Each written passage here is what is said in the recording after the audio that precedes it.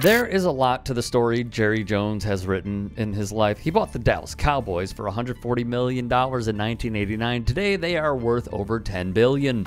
In recent years, companies he is connected to have benefited from the Texas freeze, where 246 Texans passed away from frigid temps, and a power grid that Governor Greg Abbott simply does not wish to address to aid the folks he is supposed to protect. In the wake of the protests spurned by Minneapolis officers taking the life of resident George Floyd, Jones demanded his players stand for the anthem, toe the line, respect the flag, though, as we have shown many times, the billionaire does not even care to abide by his own words. He is a heavy giver to many causes like presidential candidate Donald Trump, Texas Governor Abbott, Lieutenant Governor Dan Patrick, who spouts the mainstream white supremacist great replacement theory, and a man who allegedly fired four whistleblowers and refuses a subpoena at every turn, Texas Attorney General Ken Paxton.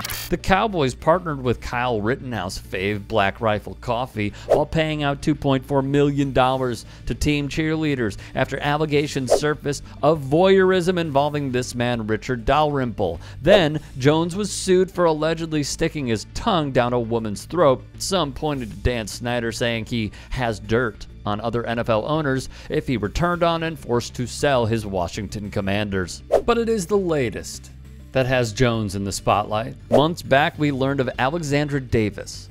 Now, who exactly is Alexandra Davis, you might be asking? Well, Via the fine reporting of ESPN's Don Van Natta, Davis filed a lawsuit against Jones alleging he slept with her mother, Cynthia Davis Spencer, back in 1995 when she was working for American Airlines. Davis's mother, estranged from her husband, were going through a divorce. Genetic testing showed Alexandra was not the prior husband's daughter.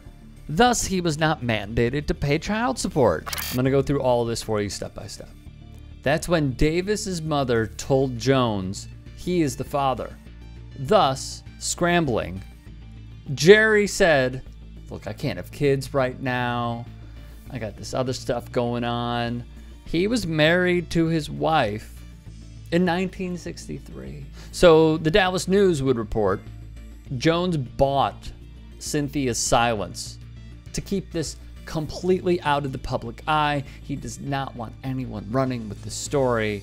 Meanwhile, I look back and I think about the, you know, the horrible stuff that they hear when they listen to rap music, the video games that they watch from a really early age. Davis works for this man, Republican Congressman Ronny Jackson, who blamed rap music for gun violence. Not, you know, guns. Basically, per the Dallas News, there was an agreement that was taking place.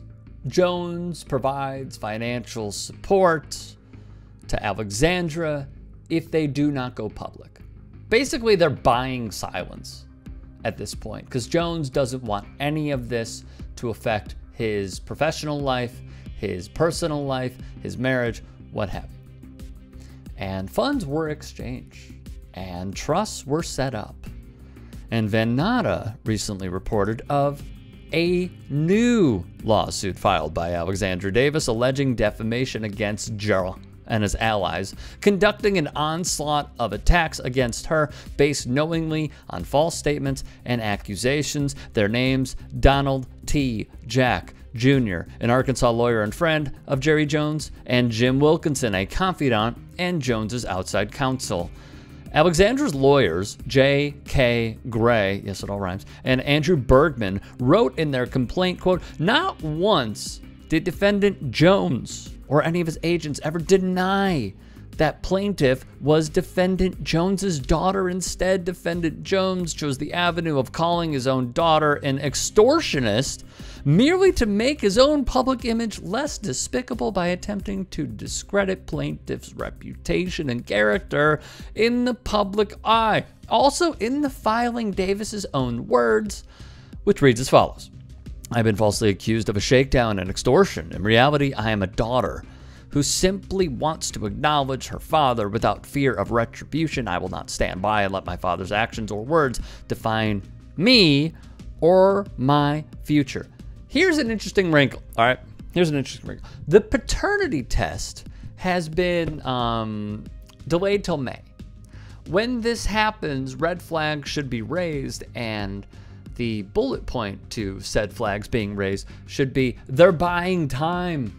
They're trying to either settle or they are putting together an investigation through their private investigators, finding as much dirt as they can on Alexandra, potentially bringing part of that dirt to light to garner public interest and sway public opinion to their side because guess what? And also trying to put it off even longer potentially. But I will say this if it is indeed the genetic testing, what do we have to fear? It seems like maybe we already have our answer. I will wait. We should all wait. Because do we know for sure? No, we don't. But why would they be fighting this so hard right now with all of this information that we have? There have also been, you know, trades, uh, barbs being made through the public of, hey, he won't acknowledge me. And then Jones's team saying, no, Alexandra Davis and her team put, you know, a note or a letter under the table at a dinner with one of my confidants, Jones's confidant, saying they demand 20 million. Like there's so much going on here, yet the thing that remains present and consistent is that Alexandra Davis is continuing this fight where she says she does not want money. And she wants Jerry Jones to acknowledge her as one of his own. I'll be paying close attention. I will provide you with updates.